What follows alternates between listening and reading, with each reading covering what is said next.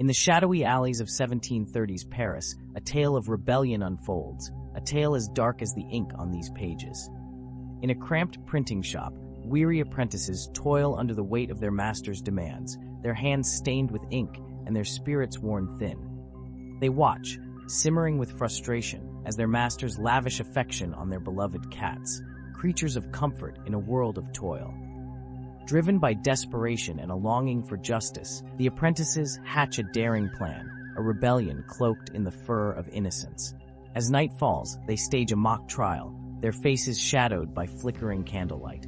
Guilty of witchcraft, one cries, as the captured cats, bewildered and frightened, stand before them.